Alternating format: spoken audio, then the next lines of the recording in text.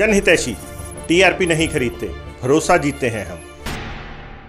पर बॉबी जी बारह महीने तो अच्छा काम करते गए ये आठ दिनों में इन्होंने बहुत अच्छी सेवा ली हुई है और बहुत सराहनीय है।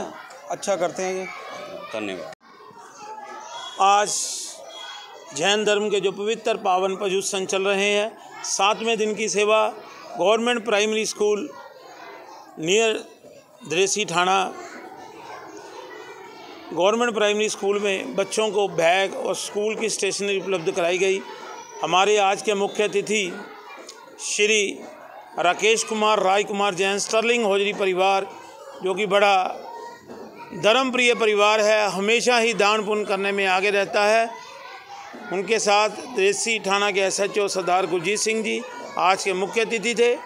आज का ये जो कार्यक्रम है, हमारे वर्तमान आचार्य हमारे भगवान लुधियाना नहीं, पूरे हिंदुस्तान के आचार्य डॉक्टर शिवमुनि महाराज साहब को समर्पित है। आज उनके जन्मदिन के उपलक्ष्य में ये कार्यक्रम रखा गया है।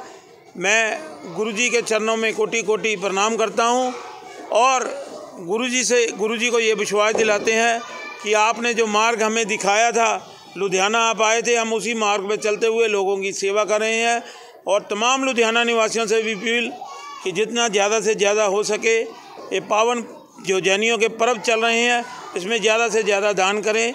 जय जिनेन्द्र, जय महावीर, जय माता